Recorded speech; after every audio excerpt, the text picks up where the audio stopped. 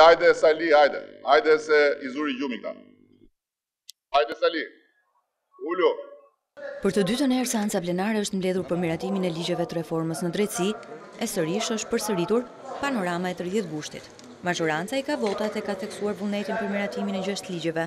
Opozita nga ana tjetër ka paralajmëruar se do t'i godasë ato në gjykatën kushtetuese. Agjenda e këtij kuvendi është vazhdimi me vendosmëri i rrugës për të çuar përpara reformën do apo nuk do Partia Demokratike. Jo vetëm gjykatë kushtetuese që do i çojmë, por në mënyrë absolute s'ka forum ndërkombëtar që s'do i çojmë. I vetmi ligj që demokratët do të votojnë është ligji për strukturën e posaçme antikorrupsion.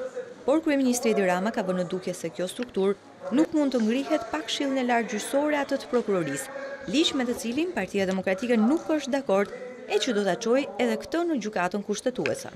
E votojmë si një institucion absolutisht jetik për Shqipërinë dhe shqiptarët dhe unë kam bindje se ky është një moment historik. Sa hipokrite dhe se sa djallëzore është vota për SPAK-un. Sepse SPAK-u nuk ka asnjë shans të ngrihet, jo më të funksionojë, nëse gjithë mekanizmat nuk ngrihen së bashku dhe nuk funksionojnë së bashku. Përplasja më e fortë mes dy politikanëve ishte për dërgimin në kushtetuese të ligjit të vetingut, si dhe për ambasadën amerikane.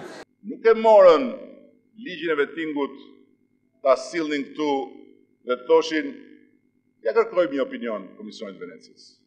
Po e çuan drejtpërdrejt aty ku shpresojnë të gjejnë kasaphanën që ju duhet, thertoren që ju duhet, kasapët që ju duhen, për të bërë as më shumë, as më pak, po për të për t'i prerë kokën reformës.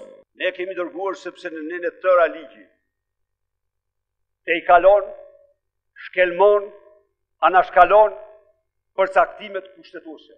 Vetëm një referendum do të ishte sot i sinqertë po të propozohej nga Partia Demokratike referendumi për të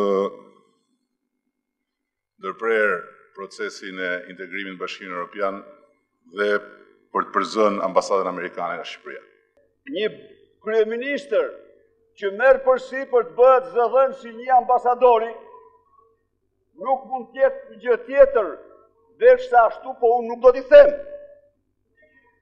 Unë, unë do t'i them sot, së bashku me ju qytetarë, shoku Xhemal.